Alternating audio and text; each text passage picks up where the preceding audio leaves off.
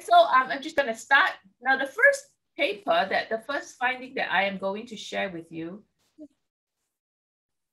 Okay, it's from a um, publication, but in the International Journal of Science Education, and that is, Am I Like a Scientist? Primary school students' images of doing science in school. Now, this came from a huge research study, well, not huge, a, a large research study where we actually go into several primary science classrooms uh, across the island that was uh, randomly sampled. And uh, what happened was when we went to the classroom, we looked at how the teachers were teaching. We also talked to the students. Because one of the key hypotheses that we thought we wanted to find out was that if, if students were experiencing inquiry in the classroom, they must have a better idea of what science is. And for all of us who are science teachers, the whole idea of doing inquiry is to try to enculturate our students into the way that scientists work. So they must know how scientists work. They have to develop the habits of the mind of scientists. They have to have those epistemic practices that are much desired um, when they learn science. So we wanted to find out after going through uh, science inquiry or science as a form of inquiry, what were some of the ideas of the epistemic practices of science did students have. Okay, so that was what um, uh, motivated this particular study. So how did students view themselves as learners of science? How did they view themselves as learners of science? So I'm just going to pause here for a good 30 seconds and perhaps for you to think about how do you think students view themselves as learners of science?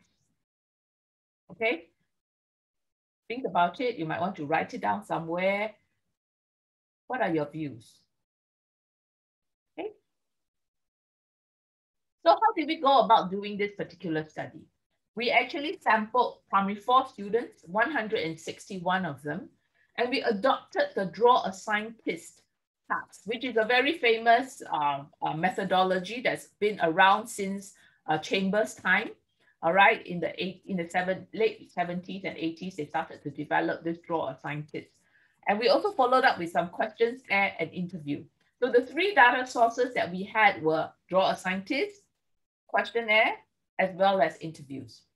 Now the draw a scientist uh, activity was actually carried, uh, uh, it used because at primary four, we thought that there could be certain experiences that the students wanted to share, but they were not as fluent uh, in the language yet to be able to describe more complex ideas about learning and about, about science in general. So we got them to draw. We collected all their photographs, I mean, all their drawings, and the research team and I, we sat down and we coded, all right, every single picture, we every drawing, we coded it to get an idea of what the kids were thinking about. And afterwards, we then went to give them the questionnaire. We also analyzed the questionnaire, and we also had a series of interviews with the students. So what did we find? In this particular study, we actually reported four key ideas, um, four key student ideas of science learning. Firstly, students see science learning as conducting hands-on investigation. Not surprising, right? Simply because many of our classrooms, our primary science classrooms, have um, teachers getting students to do hands-on experimentation hands-on investigation.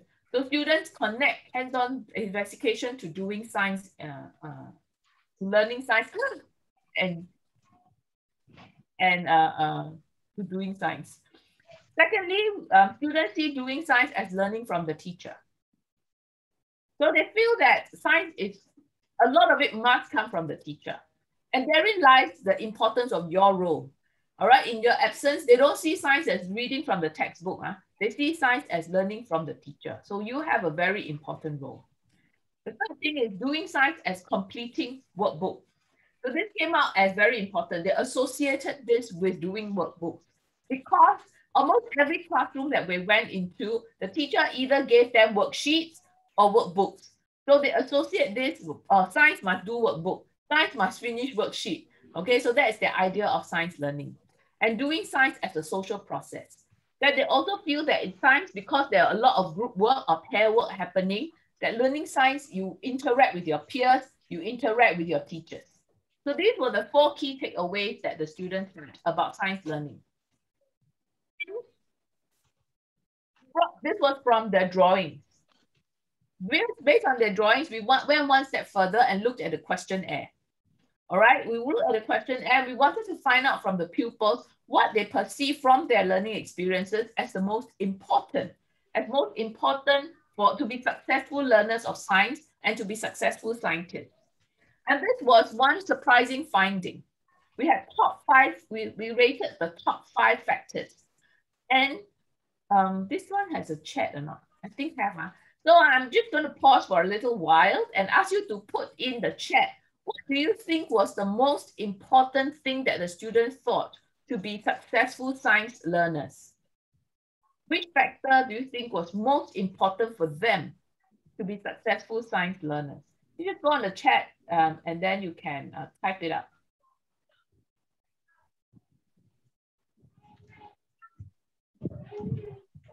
What do you think students think was so important to be successful science learners?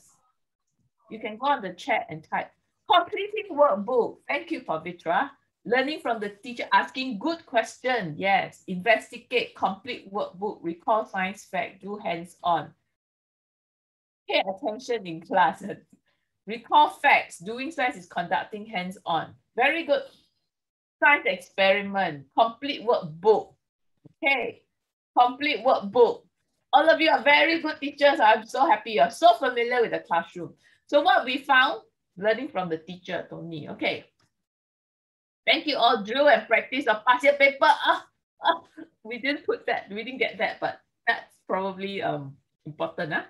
Okay, so what did we find from this particular study? What we found was that the role of good science students to be successful in science, the first one that came out, 94%, that's a very high percentage huh, of the students say they have to be well behaved. You must be well behaved before you can be a successful science student, okay? And you learn learning for knowledge. The expected role of a science learner is learn for knowledge. Seeking understanding is eight. Applying knowledge is zero. All right? The expected role of a good science student is not to, no need to apply knowledge, but you just need to be well behaved. 94%.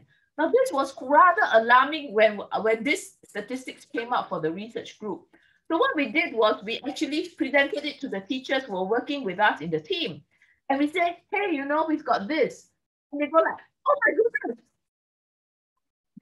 Themselves were like, no, no, no, Aik Ling, we need to figure this out. Why is it well behaved? Do you realize that the expected role of a successful science learner is not, nah? It's not, I need to be curious. I need to ask questions. I need to uh, be, have perseverance. You know, the, all the qualities that we teach them, they didn't appear. This was open-ended. They didn't appear. So people were a bit concerned. Why do they need to be well behaved? So we went back to the teachers and um, yeah, Sarah says it depends on what the teachers say in class as well. So we actually went back and we reviewed the videos. We reviewed the videos week after week of the videos that we took in the classroom. And then the teacher said, oh, every time before they start an experiment, they start a hands-on investigation, the teacher said, everybody sit down, keep quiet and listen to me, then we can start. So this happens every single lesson. Every single lesson, the teacher will say, everybody sit down, keep quiet, listen to me, otherwise we are not going to do it. So with time, they do the association, right? You must be well behaved. That's the expected role of a science learner. All right. So, I mean, we all understand perfectly. This, this data is not to say, no, you're doing the wrong thing in class. No, because good behavior management is fundamental for good, uh, for, for learning to actually take place in the classroom. So the teachers were really um, very good in the study. They said, okay, now we understand where what we have done, the consequence of what we have done. We will still do behavior management talk, but can we reduce it? Can we reduce it a little bit? and explain the relationship between behavior management talk and science inquiry in the classroom. And I thought that was very positive. All right, and that's important. because of this, we also got the kids to tell us what they think are the expected roles of good uh, scientists, right? Science learners, scientists. And this was what we found. Not, not very different in terms of trend, but different in terms of percentages. So they also think that because of this, their science learning experiences, they also think that being well-behaved, scientists that are who are well-behaved are also, uh, that's the expected role, that scientists need to be well-behaved. Um, so we, we, we initially we were concerned, but after a while we thought about it and we say, these are grade four students and these are naive understanding. All right, because they're only in grade four, right? So hopefully as they progress through their educational journey, they will learn to understand that this may not actually be, be the case. All right, so somebody asked, do students know what scientists does? There's another study uh, that we actually um, also um, try to answer that question. Now, if, a, if by grade four, the students do not know what scientists do, uh, mm, we, need to, we need to plug that hole, all right? Because they're learning science. And if they learn science without knowing why, without knowing what a scientist do, we have a big role to play. We need to help them understand that, okay? So the implication for practice here really is uh, the need for teachers to reflect more on behavioral norms. All right, well, we are very concerned and we are very, uh, it's important for them to, to uh, obey rules, certain rules in the classroom. Um, we want to uh, also balance it. In the inquiry classroom, it cannot always be a behavior taught. Some part of it needs to be attributed to the science behind, to the content of the talk, uh, of the lesson. So students brought up behavioral norms as dimensions of doing science may mean that they have constructed the view that unless they behave well, they will not have access to science and would be invisible outsiders and be left out. Okay, so that's something for, I, I thought I wanted to share this because that's an important aspect for us as practitioners to understand that uh, our decision, our talk impact students' ideas about science. But the paper, we then thought about why, okay, perhaps we want to figure out what are the factors that motivate students' interest in science. Okay, so we we saw what their ideas about science is, and then now we wanted to find out what their interest is. All right, what will motivate them uh, to learn science? So again, quick quick poll. What do you think will be factors that affect students' interest in science? Could you just type your very professional uh, uh, hypothesis there? What do you think will be some factors on the chat to get good results? Mm the experiences in science classroom, the teacher, the teacher factor. Hmm. Anything else? Oh, having fun doing experiments. Yeah.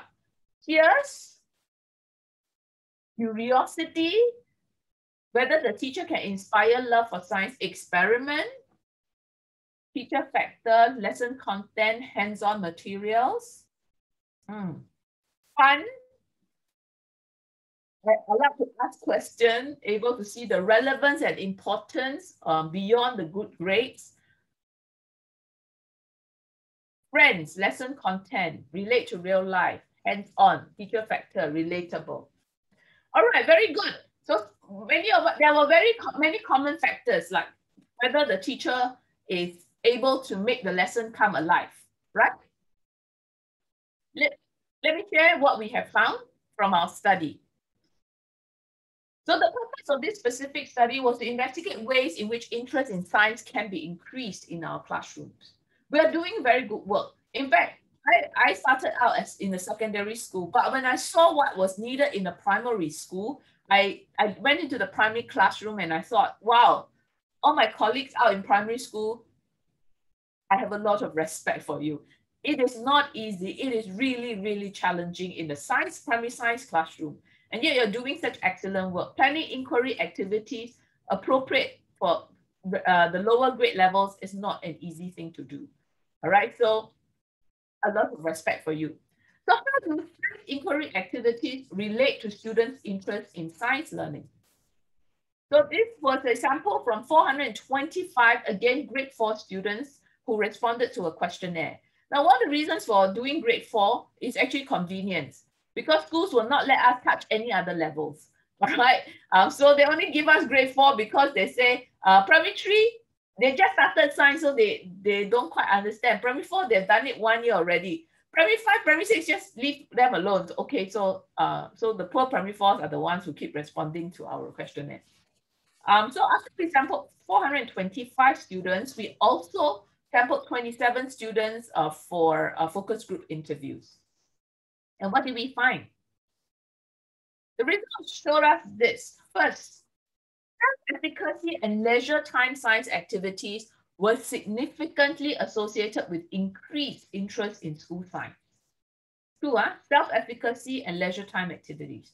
So self-efficacy just simply means how confident they are of themselves in the subject, how confident they are.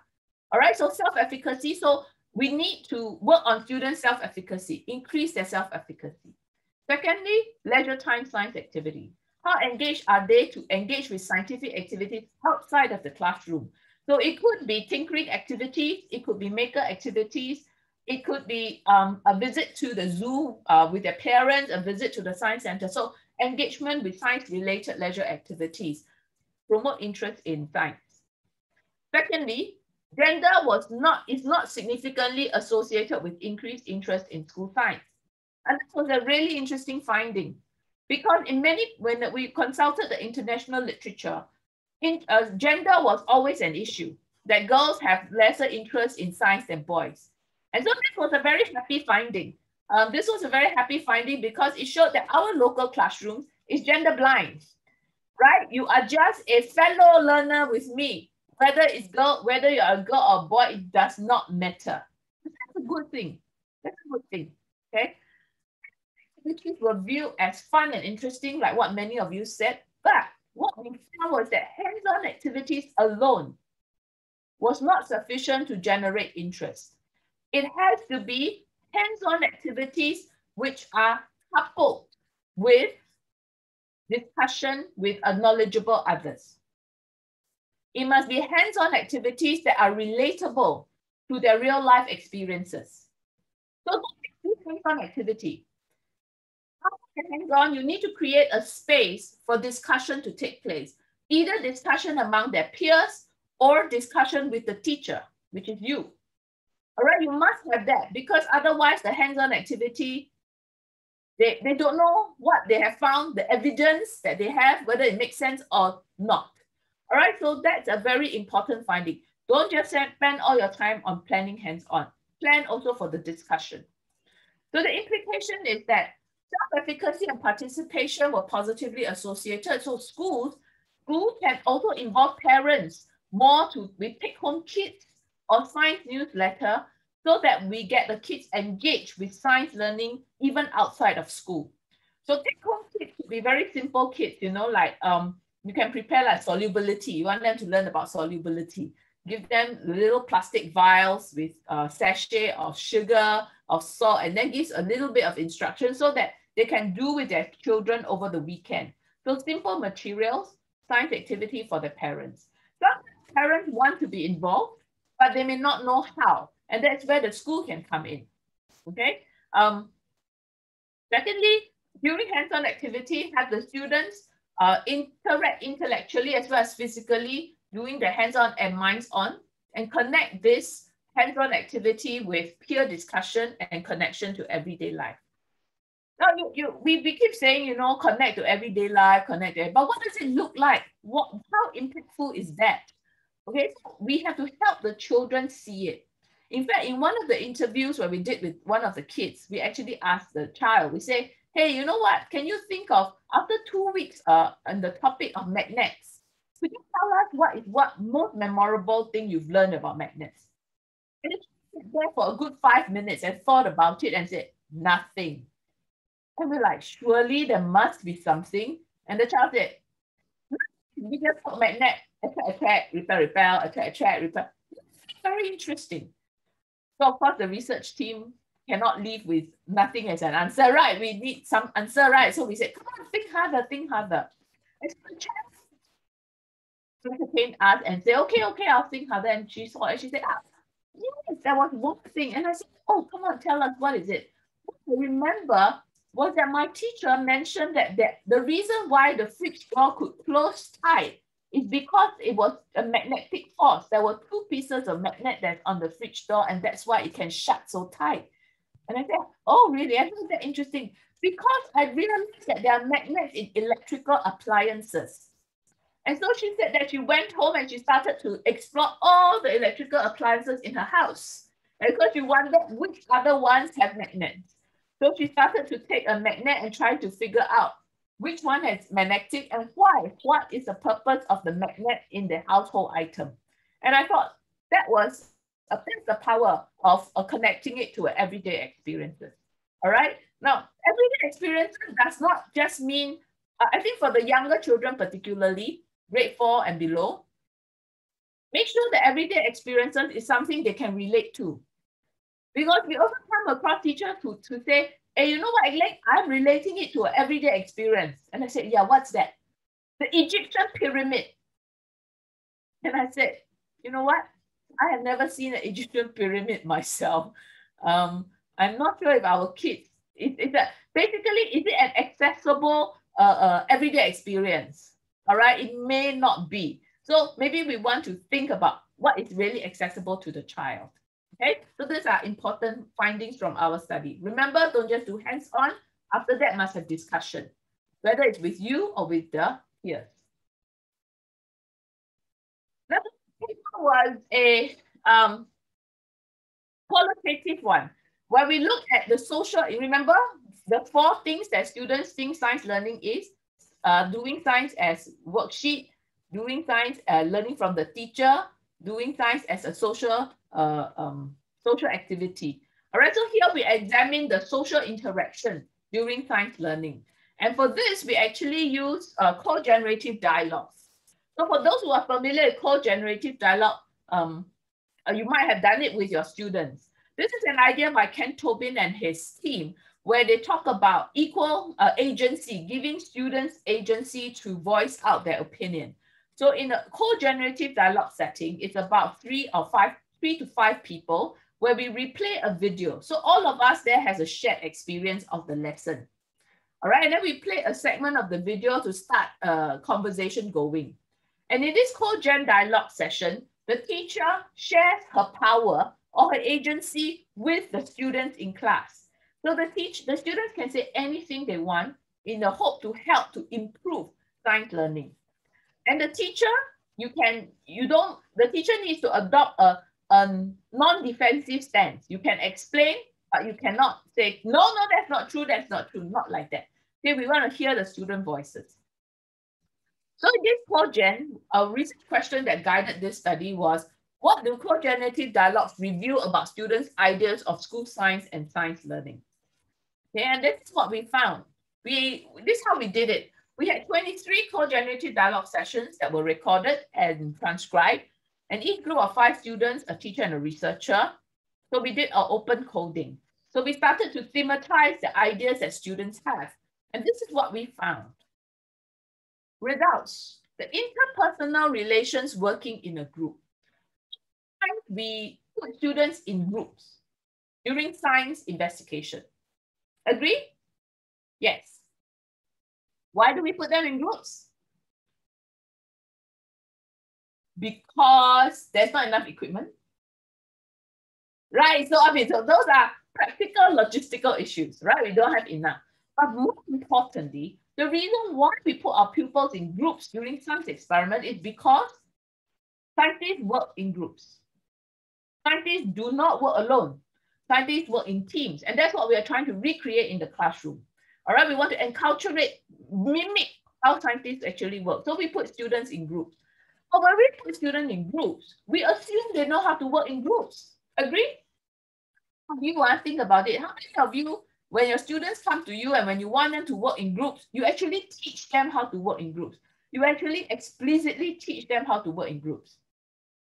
I believe some of us will do, but not it's not common. We put them in groups and we said, work in groups. And we're like, what? Now that's a very challenging thing. Even adults find difficult to work in groups. When you give students a task and you say, okay, now do your work in groups students will always say, hey, do what? Uh? Do what? Uh? Do what? Uh? Or they adopt a divide and conquer. You do part A, you do part B, you do part C. Yeah? Then come together and piece everything together and hand in. What became from a closed dialogue with the students, these were there were other issues that were discussed. But what was very, very common and very um, the students spoke with a lot of passion was this idea of conflict resolution. Students say that in science, when we do hands-on, we are always quarreling. So they remember quarreling very much.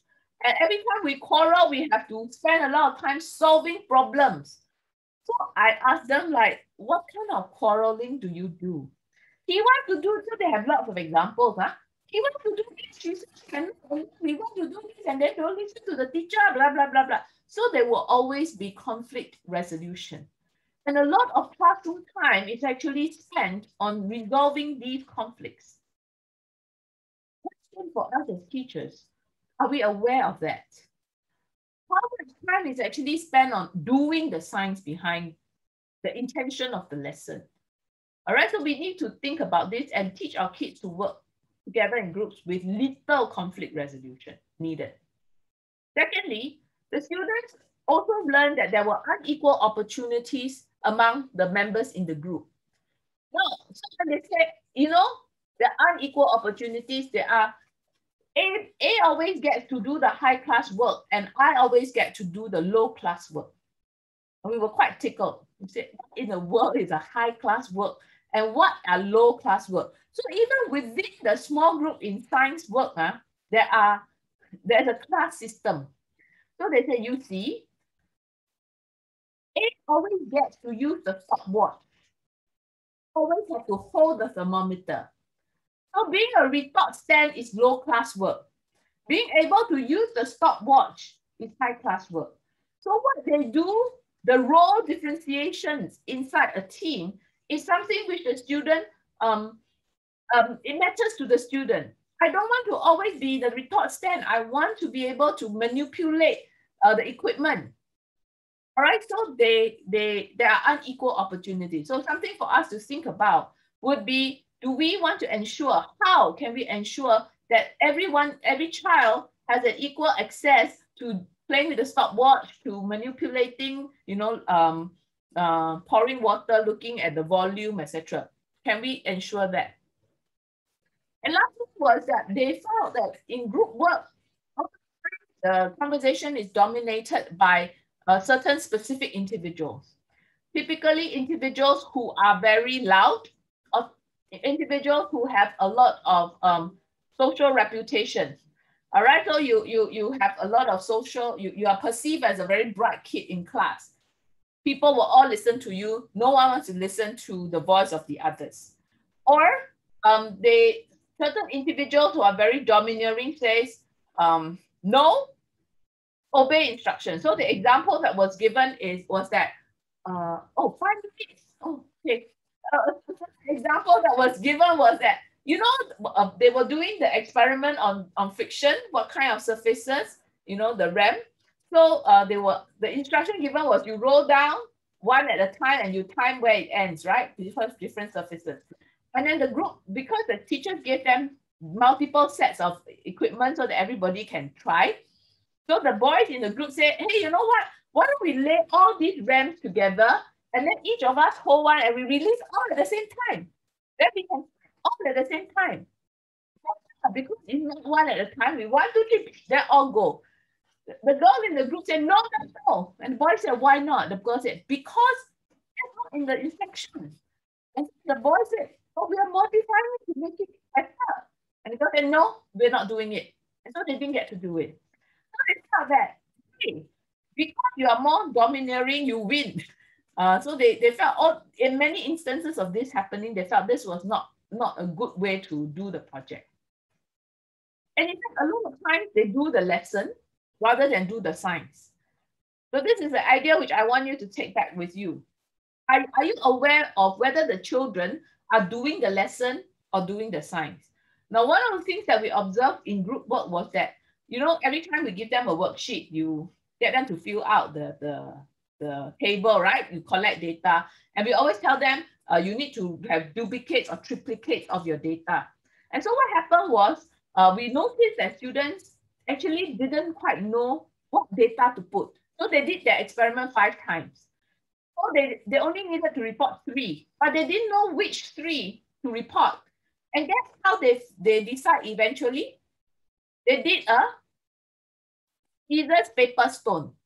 So they go back to a, a chance. They scissors, paper, stone. Whoever wins get to choose a value and put it inside their worksheet. So eventually they fill up the whole group worksheet and they hand it in to the teacher. Now the teacher had no idea. The students didn't know about anomalous results, etc. The teacher had no idea because the student handed in the worksheet. The student had the worksheet, they completed, they did the lesson, but they didn't do the science. They didn't understand the science. All right, so I think those are things which in inquiry science, we teachers need to have a more acute sense of what's actually going on within the group. And, and by repeating ourselves, it doesn't help the situation. I remember one student, we asked, uh, the student keeps saying, you know, my teacher says they like to quote and unquote you. Uh. My teacher says that we need to repeat the experiment three times. Right? Every teacher say that my daughter comes home and say the same thing. We need to repeat the experiment three times, three times. So the researchers were quite naughty. Yeah? So we asked them, so can we do it five times? And the child said, no, three times only. Teacher said three times. You cannot do it five times. So we, we were amused, but we thought, oh dear, the child did not understand. It's just by pure memory that we teacher say do it three times, but what's the purpose of three times? Don't know. All right, and so I think the implication is we need to emphasize our inclusivity within our group work. And um, we can also use tech, uh, um, um, strategies such as role playing to increase students' empathy to different experiences when they're engaged with group work in science. I think that's an important aspect, particularly with younger children who may not be sufficiently mature to be able to be more inclusive in, in uh, when they are handling uh, apparate manipulatives and their friends and the worksheets, etc. Do some role play with them so that they know how to behave in a group. I think I've got no time already. I don't have time to go through the last one, um, but um, that's okay, no worries. Um, the last one was actually the last paper. I think um, for those uh, who are who are uh, uh, your leaders, you would have heard this presentation uh, um, about uh, understanding students' ideas of inquiry in the classroom. After going through, we don't, they, they are very good at doing inquiry, going through the step-by-step -step process of inquiry, but we wanted to find out whether they understood what, what scientific aspects of scientific inquiry. And so this was, study was actually carried out. Um, what we did was we actually sampled 470, again, primary four students using an instrument and this is an international study that is conducted in um, 80 uh, economies around the world, uh, trying to compare grade four students' understanding of what scientific inquiry is. And um, yeah, so we found very interesting things like people think, students think that dinosaurs exist today because 1000 year BC, um, the caveman saw the dinosaur and then the caveman told the grandchildren, told the children about the dinosaur, and the children told their children about the dinosaur. And so until today, we know what we know that dinosaurs exist. So for them, it was not about fossils, it was about oral history. All right, so oral history, that's why we knew what happened many years ago. That was one perspective. Okay, so I thought we were we, we laughed at this, but my colleague said, Aik Ling, if we don't let students do inquiry, if we don't let students experience science as it is, science become oral history for the kids. Because if all of us here only go into the classroom and tell them, this is what scientists found, this is what happened, this is what happened, science is a oral history. If you don't get to test it out, we have failed. All right, so I think I should end here.